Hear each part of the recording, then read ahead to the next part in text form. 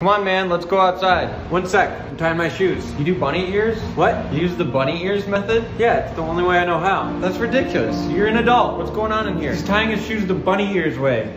Wow, are you five? Yeah, it's the only way I know how. Bunny ears is for small children, okay? It's a low integrity knot. You gotta do loop, swoop, and pull. No, no, no, no, no, no. This, I, You gotta do This is how I loop, swoop, it. and pull. It's how grown adults do it. no, no, no, no. I don't fuck around with that witchcraft, okay? I do bunny ears. It makes sense in my head. I do it like five or six times a day. Five or six times a day? Why, why are you tying your shoes that much? Because they always come untied because it's a low integrity knot. Hey, what's up? He does bunny ears. Yikes. What? It creates a low integrity knot. Okay, Jesus Christ. You know what? You gotta do loop, swoop, and pull. Yeah, well, I'm gonna loop, swoop in and kick your fucking ass if you don't shut the fuck Whoa, up. man, take a chill pill. I'm just saying, it's a low integrity knot. Say it again. What? Say low integrity knot one more time. I dare you. Low integrity knot. Okay, you know what? Fuck you. Fuck you. You're right. Fuck you. I'm not going outside today.